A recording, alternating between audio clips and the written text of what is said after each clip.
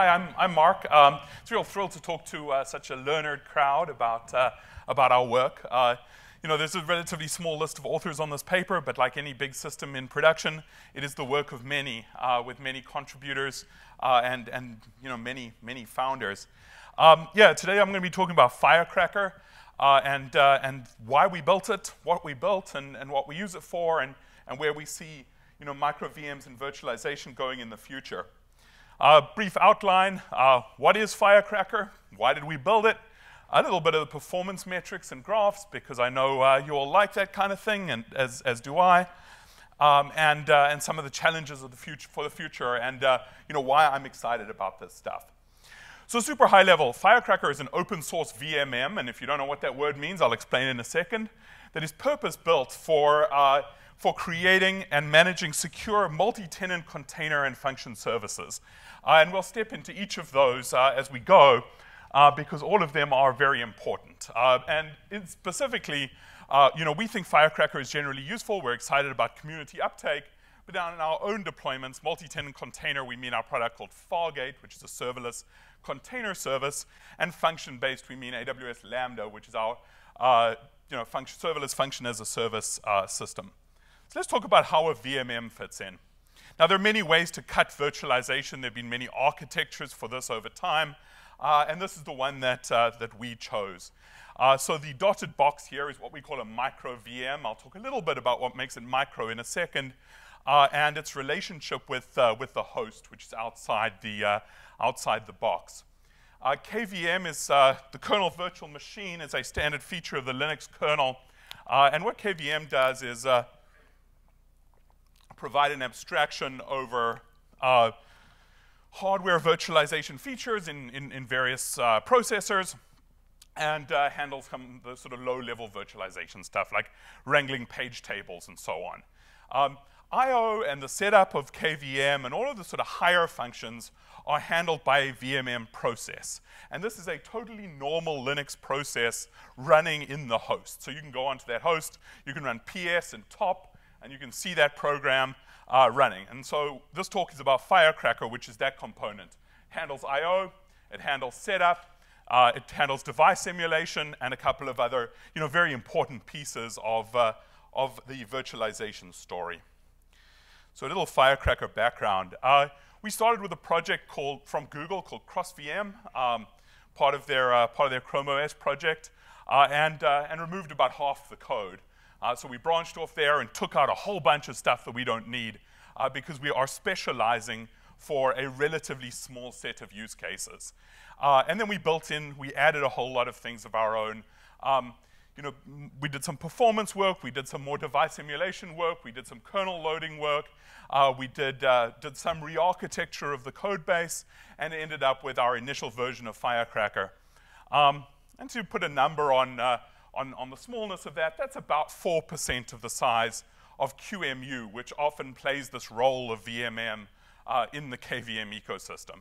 It's a bit of an apples to oranges comparison, so forgive me, um, but it'll give you an idea of, you know, it's small, it's relatively focused, and it doesn't try and do all of the many, many things that something like QEMU does. What makes these uh, VMs micro is they have a really simplified device model. There's no BIOS, uh, there's no PCI, there's no USB, there's no video. You know, we've just ripped all of that stuff out. We boot a kernel with, uh, there's a serial device, uh, there's a keyboard controller or little stub of a keyboard controller, uh, and then there are a couple of, uh, of VirtIO devices, network and block and vSocket, uh, and that's it as device model goes. Uh, and, so, uh, and so the device model is vastly simpler than the kind of device model that you would need to boot a full operating system if you wanted to like boot Windows or something. Um, but that lets us again be focused both in the, in the VMM itself and in the kernel that we build for it. That kernel is, is very small and very minimal. Uh, Firecracker supports Linux uh, guests and uh, the OSV microkernel right now. Um, it would be fairly easy to port something like the BSD, various BSD kernels to it uh, and quite difficult to port um, a lot of bigger operating system kernels. we've been excited to work with the container community to do some integration with, uh, with the container ecosystem, Kata containers, Containerd, and so on. And so you can uh, install a lot of this stuff and sort of pick up Firecracker as an alternative to Linux container isolation. Um, Firecracker is also open source. You can go get it on GitHub. Uh, we have an open roadmap. Uh, we work closely with the community, and it's all Apache 2 licensed. We've been using uh, Firecracker in production since 2008 uh, in, uh, in AWS Lambda and a couple of other places in AWS. We run millions of concurrent different workloads, arbitrary pieces of code that our customers bring us inside these micro VMs, um, and do that all, you know, all concurrently around the world. Um, this brag stat, trillions of requests a month, is a little bit old. It's many trillions, and that comes out to kind of uh, tens-ish of millions requests per second. Uh, so my team often jokes that we've started more VMs than anyone else in the world uh, in total. Um, so why Firecracker? Why did we do this? Um, well, our core problem is multi-tenancy, or our core opportunity is multi-tenancy. Uh, so we have this big circle, right? This is an EC2 M5 metal instance. It's a pretty normal piece of hardware. There's nothing crazy going on here. Um, 384 gigs of RAM, 48 cores, and so on. The smallest Lambda function, on the other hand, is 128 megabytes. So I can't go out, and I mean, I can, but I don't want to go out and buy a 128 megabyte of RAM server. Uh, instead, what I want to do is I want to take the 384 gigabyte of RAM server, which is a nice kind of current sweet spot in my economics curve, and I want to pack thousands, in this case about 3,000 or slightly more because, uh, uh, because of, of, of soft, uh, soft provisioning, uh, into a machine. So what are the requirements for doing that? The most important requirement is isolation. It must be safe for multiple functions or multiple workloads to run on the same hardware. And here the word safe is doing a lot of work. Um, what we mean is uh, there should be no path to privilege escalation. These workloads shouldn't be able to go from being unprivileged to being privileged, uh, no matter what kind of evil they try and do uh, by themselves. Um, there should be no path to information disclosure. You know, there shouldn't be one guest that can read the memory or the I.O. or even infer anything about the memory or the I.O. or the state of any other guest. And that's super, super important uh, to the protection of data in the cloud. And finally, and perhaps most subtly, there shouldn't be any way to create covert channels. So even two cooperating VMs shouldn't be able to transfer state between them. And this matters because we want uh, our customers to be able to use our kind of declarative authorization features rather than uh, you know, not have to worry about covert channels between even cooperating pieces of code.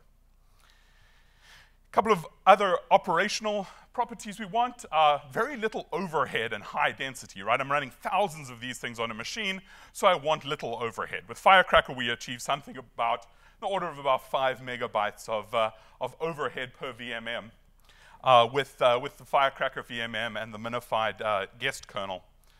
Um, performance functions must perform similarly to running natively. I don't want to walk away from a bunch of performance. Low performance doesn't only mean low performance, it generally also means high CPU utilization in doing things like I.O., and I don't want that because I want to sell that CPU to my customers so they can have a great time running on my platforms. Um, and then compatibility.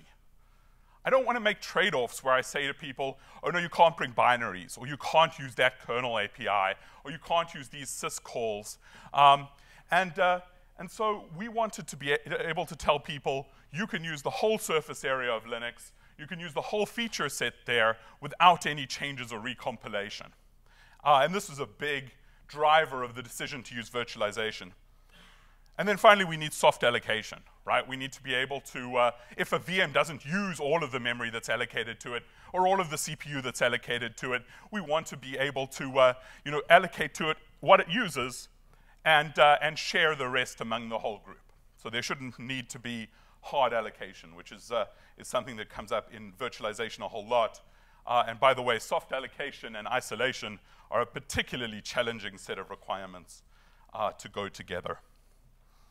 So we built Firecracker to tick all of these boxes. Um, and there's a little bit of a quick comparison. There's a huge amount of depth here. Um, so let me go quickly around why we didn't use some of the other stuff here. Um, QEMU KVM, this kind of the obvious candidate in the virtualization space. Uh, we couldn't achieve the density we wanted. Uh, the, K, the, the, the, QEMU team has actually done some really awesome work since we released Firecracker on improving their density. I'm very excited about that. Um, and there was also some overhead that we, uh, that we didn't like there.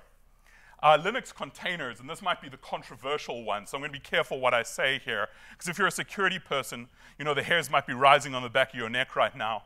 Um, Linux containers have isolation challenges, which I won't go into, uh, but the most important one here is compatibility challenges.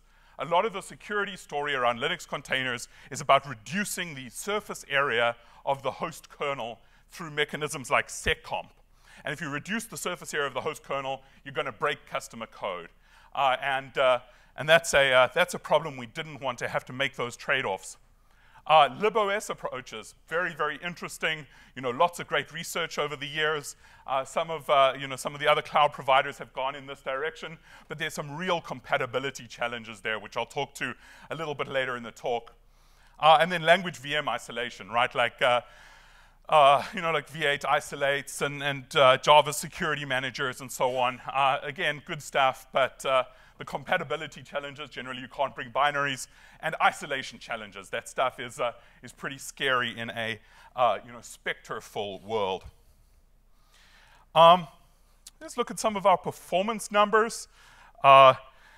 Boot time is, uh, is a key one. You'll see that there are two traces for Firecracker here, uh, Firecracker and Firecracker pre. Uh, we have two ways of configuring a Firecracker. One is with a kind of post-startup API call, uh, and the other is with a bunch of command line arguments. So Firecracker pre is the bunch of command line arguments. And here one of the comparisons is Cloud HV. Uh, this is a product from Intel, um, which uh, is related to Firecracker and has used, uh, you know, shared some of the code. Um, and so, uh, you know, again, excited about the ecosystem that's building around this stuff. And so much, much faster than QEMU on boot. Uh, and a uh, nice vertical curve there on the CDF. There's not, uh, there's not a whole lot of tail latency here uh, in the serial launches. But even more importantly, when we go to launching 50 parallel micro VMs, this, is 50 parallel micro VMs on a 48 core box. Um, and this is all them starting up at the same time. You can see that, uh, that QEMU and, and to an extent the, the non-pre version of Firecracker really spread out in time. We get a whole lot of outliers. Um, but the Firecracker pre, uh, which is kind of optimized for this case, optimized to drive down contention, uh, keeps a really nice kind of vertical CDF. So we don't get a lot of outlier latency in startups, uh, which is important to us. Now we get to talk trade-offs. Uh, this is QDepth 1 I.O. latency, so there's the I.O. latency that matters for, uh, for things that are kind of doing a serial stream of I.O., I.O. wait, I.O. wait, I.O. wait. Um, and you can see that we actually do pretty well here uh, with Firecracker. Uh, there, there are some opportunities to improve things. Uh, but 4K read, you can see we're down in the uh, um, you know, low, uh, you know, low sort of 200, between 200 and 100 microseconds.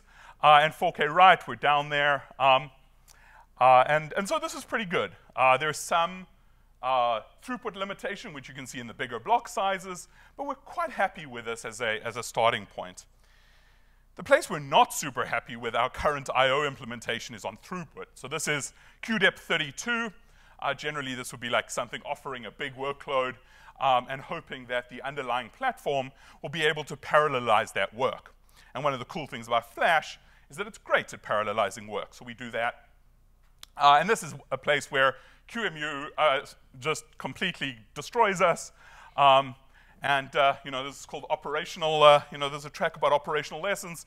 One operational lesson is you never get the time to build exactly what you want to build. Uh, so I'd love to go back and do this with like io_uring and a new kernel, and we can get to some really great performance here.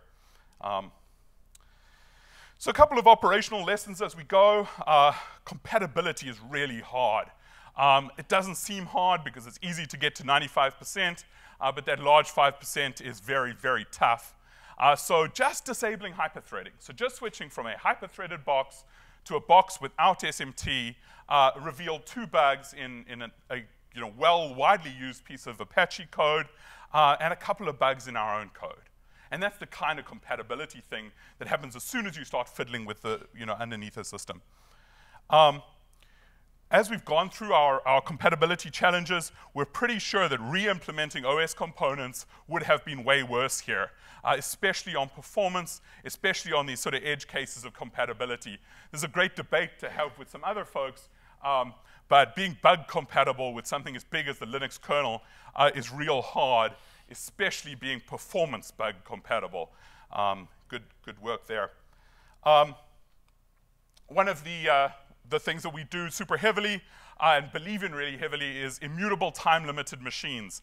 Our whole fleet of, of Firecracker workers, um, no box in there ever gets changed after it gets into production, and no box in there ever lives for longer than about eight hours. Um, and the reason we do that is so we can be sure exactly which bits are on our, on our, are on our production fleet.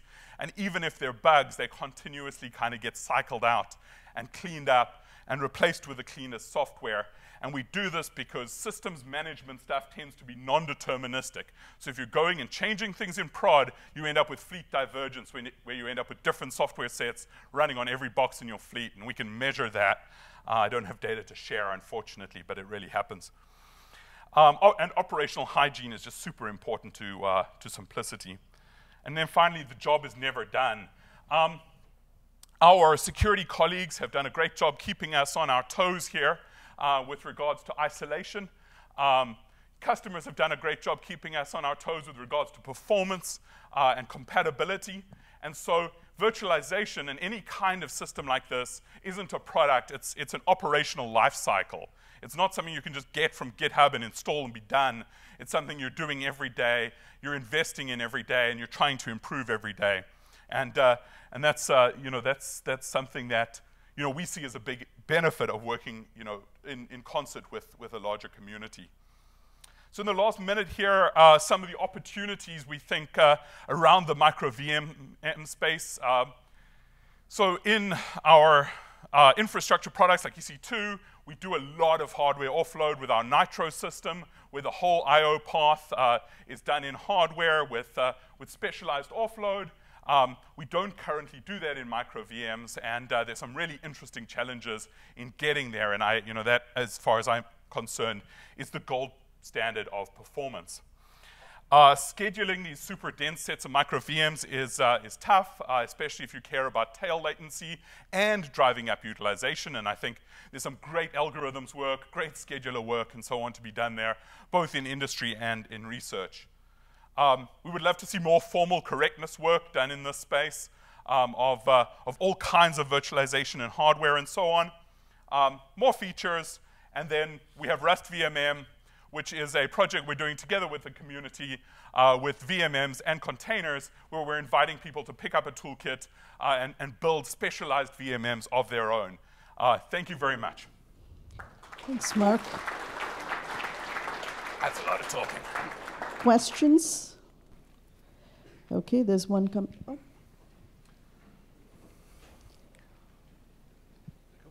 Go for it. Hey, hello. Uh, thank you for the talk. Uh, can you talk a little bit about what kind of properties do you want to uh, formally verify? Uh, yeah, I mean, uh, pretty much everything. You know, I've mostly around that isolation boundary, the correctness of uh, of the things like uh, VirtIO implementations. We've made some good starts there. Um, you know, some uh, optimality around uh, um, or, or, you know, properties around scheduling. I think, uh, you know, it's a big question, uh, and, uh, and maybe we should chat about it afterwards. But, you know, I think there's a huge amount of opportunity there in, in various places. Thank you. Hi, David Liu from Princeton. Uh, thanks for sharing your experience. Uh, you mentioned that providing proper isolation in a multi-tenant environment is the main driver. So could you say more about, like in particular, what kind of like covert channel protection that, uh, that your system is providing? Uh, yeah, uh, that's, a, uh, that's a whole talk of its own. Um, if you go and look in the GitHub repo in documentation, there's a list of, uh, or partial list of the mitigations that we think are best practice. Uh, these days that comes down to flushing L1, flushing as much of the microarchitecture as you can, not sharing pages, not deduping pages, not compressing things. Uh, it's a pretty long laundry list. So if you're interested, again, happy to, happy to talk afterwards. Thank you. Hi, Rick Farrow. So um, in the paper you mentioned that you have a stripped down Linux kernel that you're running inside the container. How big is that? I don't know offhand. Um, ah, it's just kind of configured down. Um, I can Right. get some numbers for you. Oh, okay, yeah, we'll talk outside. Yeah. Thanks, Marc.